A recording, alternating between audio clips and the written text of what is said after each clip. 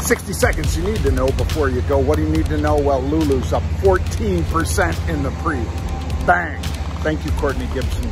All right, take a look at Curve, C-U-R-V. Why?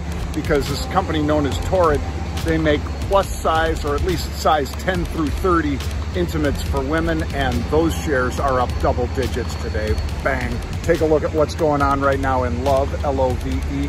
These guys say uh, pop-up stores in Costco for their beanbag chairs just crushed it, and that stock up double digits. GameStop, okay, I'll take my medicine.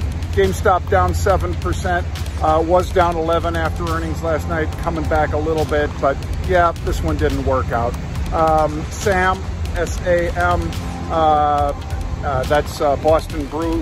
Uh, this one really falling apart. Uh, it was down 8, then 9, now 10% in the pre. And NetEase, N-T-E-S, and Billy, these are two Chinese media stocks because they get called in front of uh, China. I am Jon Najarian. I will be back. Daily Crypto Byte, 10 a.m. Then Pete's the Take, 10.30. Then I'll be on the halftime report, noon Eastern, and then 3 at 3. Make sure you tune in. Make sure you check out our YouTube channel, youtube.com. Type in Market Rebellion. You can subscribe for free. Bang!